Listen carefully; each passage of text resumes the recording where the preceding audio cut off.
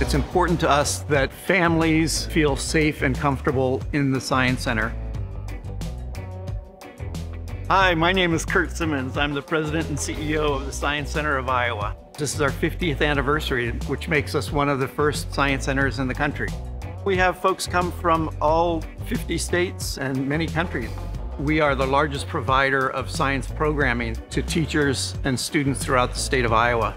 We have a good variety of exhibits, everything from space, and astronomy is always one of the most popular subjects with audiences. We have What on Earth, which is an exploration of Iowa's habitats and animals, amphibians and reptiles especially.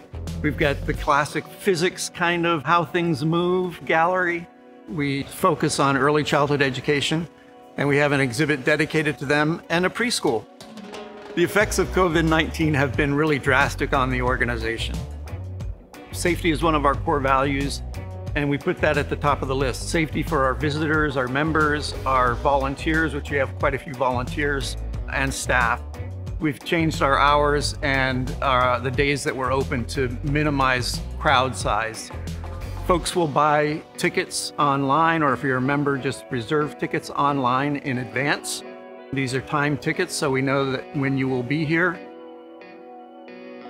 When you arrive at the Science Center, you'll show your ticket, either a digital ticket or a paper ticket. We'll do a quick health screening for you.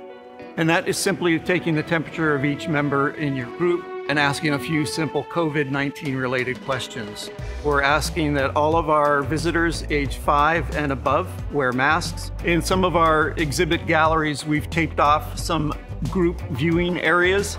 We've delineated a path through some of our exhibits with uh, arrows and markers and some directional help. And we've spaced those out more than six feet. As time goes on and we understand more about COVID, we'll be opening more days per week and more hours in the day. Now that we're opening up, it's a real joy to hear the sounds of children in the building again, exploring our exhibits and having fun with science. We're so excited to have the Science Center of Iowa open again and welcome everyone back. Can't wait to see you at the Science Center.